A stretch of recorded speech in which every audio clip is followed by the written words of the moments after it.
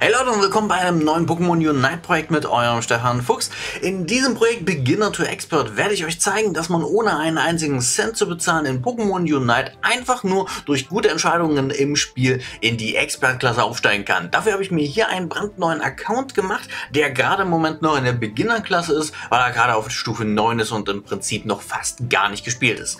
Mein Ziel hier in dem Projekt ist es im Prinzip euch zu zeigen, wie ihr von Beginner zu Expert aufsteigen könnt, ohne dafür irgendetwas an Geld ausgeben zu müssen. Und das Ganze werde ich versuchen, jedes Spiel hochzuladen. Natürlich, wenn ich in einem Game 1, 2 oder 3 AFKler drin habe, also Leute, die zwar theoretisch da sind, aber gar nicht mitspielen, dann werde ich die Spiele auslassen. Ansonsten versuche ich jedes einzelne Spiel hochzuladen und euch zu zeigen, wie man die Spiele gewinnen kann, auch wenn die Teammates vielleicht nicht so berauschend spielen. Los geht's! Und da sind wir auch schon im ersten Game. Ich habe mir hier Zeraora ausgesucht, einfach deswegen, weil so gut wie jeder Zeraora haben sollte. Ist ja ein kostenloses Pokémon, was man zumindest auf der Nintendo Switch-Version einfach so geschenkt bekommt. So, äh, am Anfang wir sind, wir sind in der Beginnerklasse, von daher braucht man sich hier nicht so sonderlich viele Gedanken machen. Mein größter Tipp ist, um aus der Beginnerklasse rauszukommen, spielt einfach so viele Spiele wie möglich und versucht in den Spielen die wilden Pokémon zu besiegen. Klingt komplett trivial, aber lustigerweise ist es auch wirklich das, was ausreicht, um äh, von Beginner of Braid aufzusteigen. Wenn ihr einfach nur die wilden Pokémon besiegt und ganz genau wisst, okay, wenn ich wilde Pokémon besiege, bekomme ich Erfahrungspunkte Erfahrungspunkte. Die Erfahrungspunkte machen, dass ich auflevel, dass ich dann insgesamt stärker werde und eine bessere Chance gegen meine Gegner habe, dann reicht das vollkommen aus. Wir sind jetzt hier zum Beispiel schon Level 5 und wenn wir einmal kurz auf die Lane schauen, dann sehen wir hier, dass die Gegner, ich sag mal so, sehr, sehr gerne am Rumfighten sind. Aber kein sonderlich hohes Level haben. Wir sehen, dass hier zum Beispiel das Ohr doch noch komplett uncontested ist, dass hier Erfahrungspunkte einfach mitten auf der Lane stehen und nicht genutzt werden. Von daher die einfach schnappen und dafür sorgen, dass alle Erfahrungspunkte ordentlich genutzt werden. Normalerweise ist es nicht so gut, wenn man als Jungler äh, sämtliche Erfahrungspunkte denied und nimmt, die es auf der Lane gibt, weil die Laner dadurch einen massiven Nachteil bekommen, die eigenen. Aber wenn die eigenen Laner das nicht machen, dann einfach mitnehmen. Und wie wir hier schön gesehen haben, ich bin jetzt Level 7, die Gegner waren auf Level 3 noch und äh, da haben sie halt im Normalfall keine Chance, gegen einen irgendwas auszurichten. Aber ganz, ganz wichtig, und das ist das, wo viele den Fehler begehen, wenn man auf der Lane sind. Besiegt die Gegner dann. Nicht auf der Lane bleiben und irgendwie versuchen, äh, krampfhaft Punkte zu sammeln oder die Gegner krampfhaft zu besiegen. Einfach wieder zurück in den Jungle gehen und die Erfahrungspunkte sich abholen. Das reicht eigentlich im Normalfall aus, um Beginner hinter sich zu lassen und zu Expert aufzusteigen. Strategischer wird es dann in den höheren Ligen. Ähm, es ist auch definitiv so, dass dieses Projekt jetzt nicht nur ist, um nach Export zu kommen. Das ist so mein erstes großes Ziel in dem Projekt, wenn ich ehrlich bin. Weil Export halt wirklich das ist, was ich so oft nachgefragt werde. Wie kommt man nach Export? Ist es überhaupt möglich, nach Export zu kommen, ohne Geld zu bezahlen? Und hier will ich einfach mal zeigen, ja, es ist möglich. Pokémon Unite ist, finde ich, nicht so heftig Pay-to-Win, wie das viele gerne mal darstellen. Und da kommen wir auch schon zu meiner Frage des Tages, wo mich extrem eure Meinung wirklich mal interessieren würde.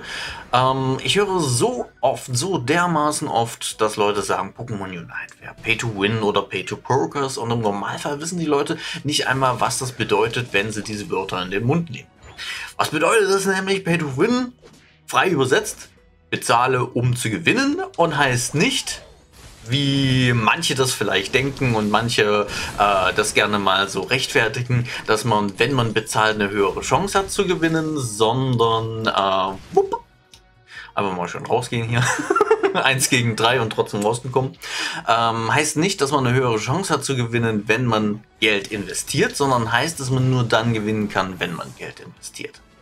Pay to Progress heißt im Prinzip auch genau dasselbe. Es ist nicht so, huch, heftig sind das Lags. Es ist nicht so, dass äh, man eine höhere Chance hat, um äh, aufzusteigen oder um im Spiel weiterzukommen. oder dass es schneller geht, um im Spiel weiterzukommen, wenn man Geld investiert, sondern das Wort an sich bedeutet, dass man nur dann ordentlich weiterkommen kann im Spiel, wenn man Geld investiert und ansonsten gar nicht die Möglichkeit hat, im Spiel weiterzukommen. Und da würde ich definitiv sagen, dass das in Pokémon Unite nicht der Fall ist. Trotzdem interessiert mich hier definitiv eure Meinung und vor allem, wenn ihr die Meinung in die Kommentare unten schreibt, eure Begründung.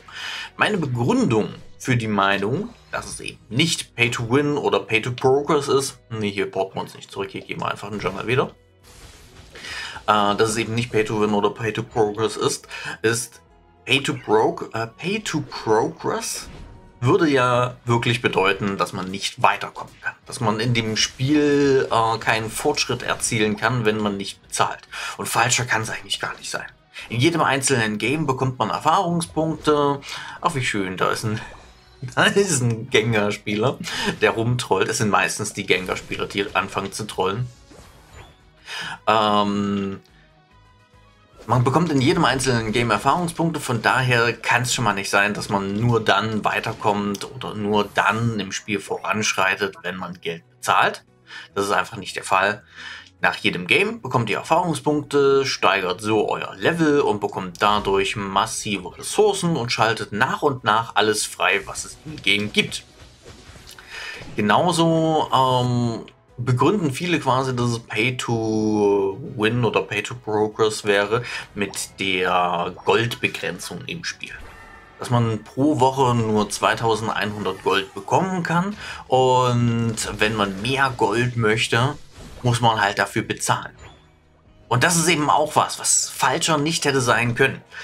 Da haben die Leute zwei Sachen komplett durcheinander bekommen, zwei Sachen komplett missverstanden ähm, es gibt diese Goldbegrenzung 2100 oder 2200, ich glaube 2100 Gold sind es, die man pro Woche bekommen kann. Aber, ganz, ganz wichtig, die 2100 Gold kann man auch pro Woche maximal bloß bekommen, wenn man Geld investiert. Und wenn man sich so einen Boost abholt, dass man doppelt so viel Geld pro Match bekommt. Das heißt, das Argument, äh, das Argument tut sich selbst verneinen. Das Argument ist so dermaßen sinnlos, dass man da überhaupt nicht zuhören braucht, weil, wie das Argument selber schon sagt, es gibt diese Goldbegrenzung und selbst wenn man Geld bezahlt, kann man an dieser Begrenzung nichts machen. Das heißt, das hat schon mal nichts mit äh, Pay-to-Win oder Pay-to-Progress zu tun. Ein zweites Argument, was ich sehr, sehr oft gehört habe, ist, dass man äh, die Items ja braucht, um im Spiel gut zu sein, um gegen die Gegner klarzukommen und dass die Items Item Verstärker, Item Enhancer brauchen und die Item Enhancer kriegt man nur, wenn man äh, das schon Geld in das Spiel investiert. Das ist natürlich auch komplett falsch, komplette Grütze. Die Item Enhancer sind natürlich wichtig, die braucht man, um die Items zu verstärken und ich gehe auch hundertprozentig mit. 15 Minute 3. das, ist, das ist abnormal.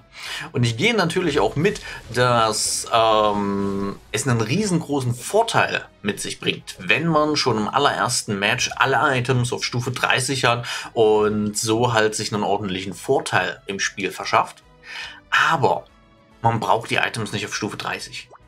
Man kriegt die Items auch ohne Geld auszugeben, durch die ganzen Ressourcen, die man in-game bekommt, ohne größere Probleme, ohne größere Schwierigkeiten. Ähm, da hätte ich jetzt nicht reinspringen sollen, aber es ist nicht so ein riesengroßes Problem. Äh, ohne größere Probleme kriegt man die Items auf Stufe 20. Und das reicht aus. Das reicht aus, um auf Master zu kommen, Leute. Stärker muss es nicht sein und äh, da ist das Gegenargument eigentlich meistens, ja, aber wenn ich ein Zeraora bin und habe durch meine Items plus 100 Angriff und dann kommt ein anderer an, der sich für echt Geld halt die Itemverbesserer gekauft hat, der dann auf einmal nicht plus 100 Angriff hat, sondern plus 120. Dann hat er doch einen Vorteil. Ja, klar, dann hat er einen Vorteil. Der hat 20 Angriff mehr als man selber, aber die 20 Angriff machen so dermaßen wenig aus.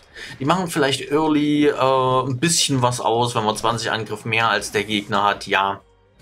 So, jetzt muss ich mal langsam gucken, dass wir hier Zapdos nicht wegwerfen. Oder besser gesagt, dass die Teammates Zapdos nicht wegwerfen. So, ähm, Das, das mag auf den ersten Leveln ordentlich was ausmachen. Ja.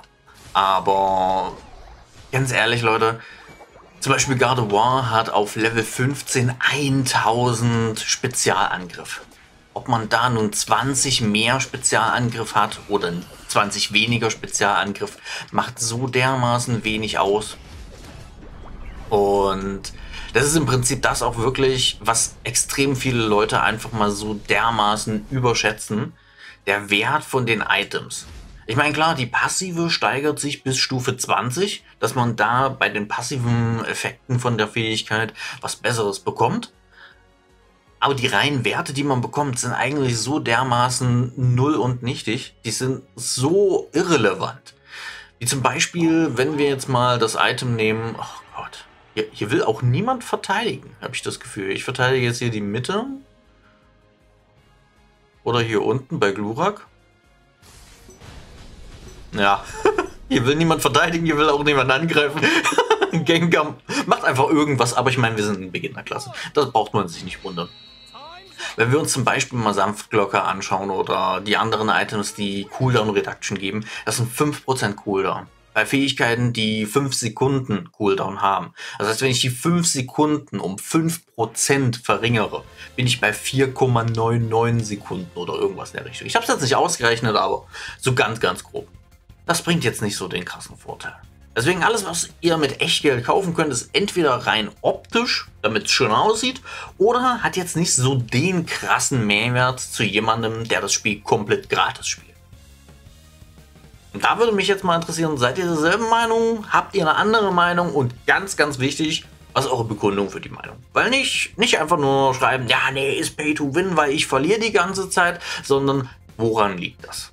Wenn ihr die ganze Zeit verliert, dann könnt ihr vielleicht was besser machen und euch ein paar Trips und Tricks hier abschauen in meinen Matches, um dann auch nach Expert, Veteran oder vielleicht sogar später Master zu kommen. Ich wünsche euch noch viel Spaß beim Zocken. Wir sehen uns dann im nächsten Video und beim nächsten Beginner to Expert wieder. Bye bye!